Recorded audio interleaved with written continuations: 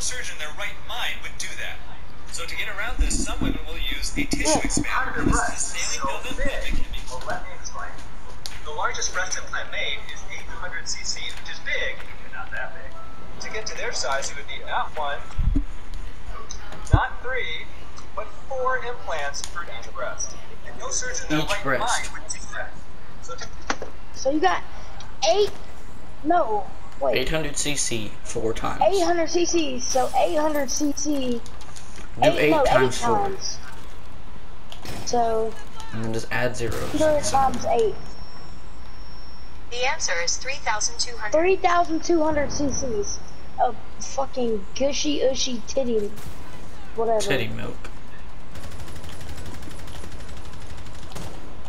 Fucking damn it. Fuck you all about. Ain't no wait. No, I'm clipping that. I am clipping that.